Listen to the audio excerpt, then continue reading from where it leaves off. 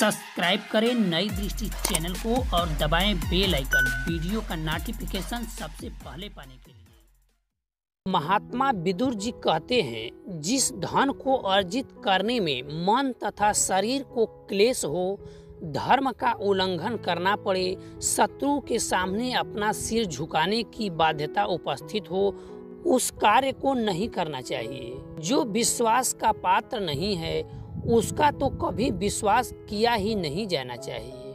पर जो विश्वास के योग्य है, उस पर भी अधिक विश्वास नहीं किया जाना चाहिए। विश्वास से जो भय उत्पन्न होता है, वह मूल उद्देश्य का भी नाश कर डालता है। बुद्धिमान व्यक्ति के प्रति अपराध कर कोई दूर भी चला जाए तो चैन से नहीं बैठना चाहिए, क्योंकि बुद्धिमान व्यक्ति की बाहें लंबी होती है। और समय आने पर वह अपना बदला ज़रूर लेता है।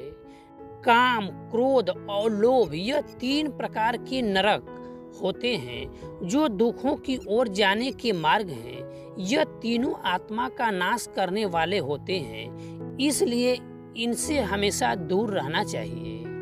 जो पुरुष अच्छे कर्मों और पुरुषों में विश्वास नहीं रखता, गुरुजनों में भी स्वभाव से ही संकित रहता है, किसी का विश्वास नहीं करता है, मित्रों का परित्याग करता है, वह पुरुष निश्चय ही अधर्मी होता है।